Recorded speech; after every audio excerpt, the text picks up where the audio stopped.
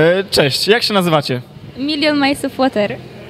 Mm, ciekawa nazwa, a co to oznacza? E, milion mil wody. Aha, spoko. Czy możesz przedstawić wasz zespół? Kto jak się nazywa i na czym gracie? Tak, to jest od prawej Michał Przekop na gitarze, Patryk Dobrzyński na perkusji i robi chórki. I ja, basistka i wokalistka Ola Kwiatkowska. Okej, dzięki. Mm, Co gracie? Jaki rodzaj muzyki? To jest taki alternatywny rock. Tak inspirowaliśmy się trochę funkiem, ale w sumie to jest taka nasza własna muzyka. Po prostu tworzymy, co czujemy.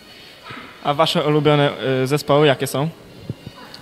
E, No to, to różnie, głównie Red Hot Chili Peppers i na przykład Nirvana.